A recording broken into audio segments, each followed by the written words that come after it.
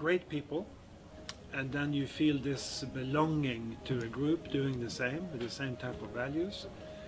And uh, I think that it's just been fantastic in terms of return on investment. It doesn't cost anything almost to be a member, but what you get back is making you a much better employee, much more innovative person. You expand the way you think, you expand the horizon, you expand your network.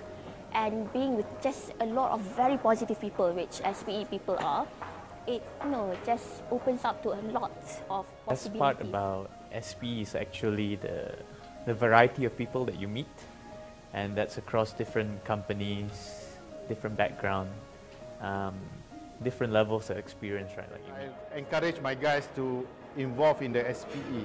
I think the SPE, especially for the young people, it kind of widen their horizon. So you know, you got to to meet people with a different background, and then now your your mindset or your thinking is going to be uh, different. The networking is the opportunity to meet people from different walks of life, um, different levels of um, experience.